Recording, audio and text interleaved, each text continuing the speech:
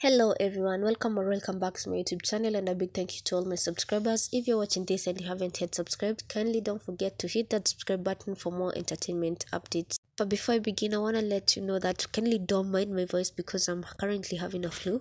That's why it's affecting my voice. But it couldn't stop me from doing this video. So today, I'm back again with Khosi and Emmanuel Umoh's update. Both of them are ex Big Brother show housemates and on 17th of June, Emmanuel flew to Nairobi to attend an event which was all about entrepreneurs. And as some of us know, Emmanuel was also recognized as Mr. Africa before even participating in the Naija show. And when he got out of the house, that's when we got to see his salon and spa, which was known as Hair Lab. Then later, he launched his Body Lab, which was a gym.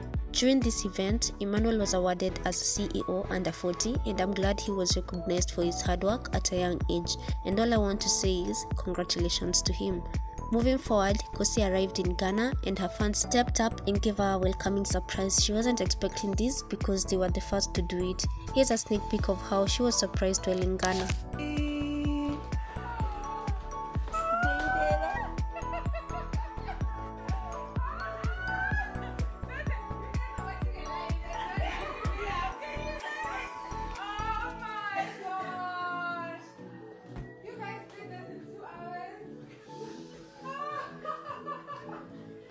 Just lived! Oh wow! King Khosi! Ah, ah. Oh my gosh! I love it! Oh.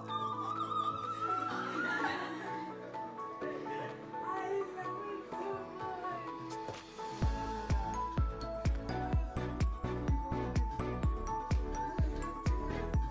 Surprise!